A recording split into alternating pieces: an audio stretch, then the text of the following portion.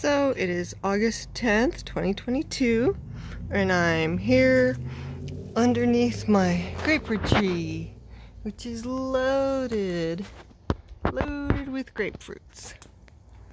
Super, super happy. This is called a red blush.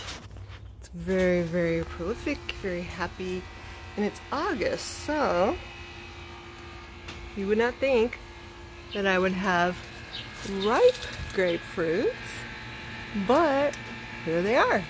So in any citrus, you can have all stages of citrus fruit on the tree at the same time.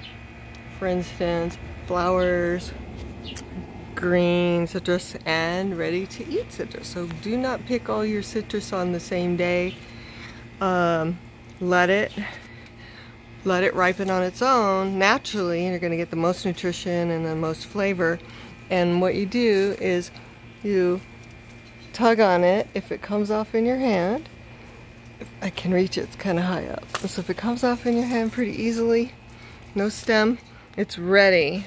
So if you have to cut it off, it's not coming off, it's not ready. This one is ready. It's firm, it's juicy. It's gonna be so good. Happy gardening!